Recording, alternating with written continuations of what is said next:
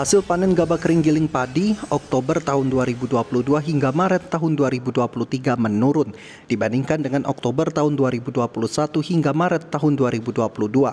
Menurutnya hasil produksi gabah kering tersebut yakni terdiri dari 404,18 ton pada tahun 2021 hingga tahun 2022 menjadi 288,99 ton tahun 2022 hingga tahun 2023. Menurutnya hasil produksi tersebut terhitung dari luas lahan yang mana pada tahun 2021 hingga tahun 2022 seluas 165,4 hektar, sedangkan tahun 2022 hingga 2023 hanya seluas 131 hektar.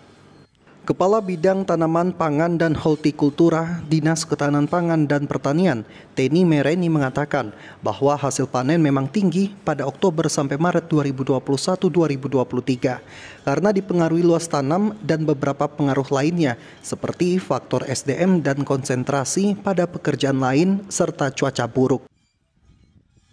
Terjadi penurunan luas tanam kita ini banyak faktor ya banyak faktornya ya sebagian memang karena uh, petani kita ada yang konsentrasi ke pekerjaan lain kan oh. dan ada juga yang memang karena uh, terjadi perubahan cuaca yang begitu ekstrim.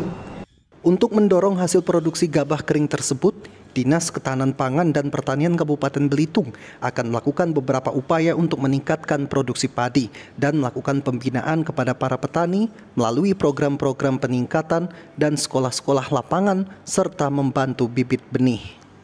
Dari Tanjung Pandan Belitung, Jupri TVRI Bangka Belitung melaporkan.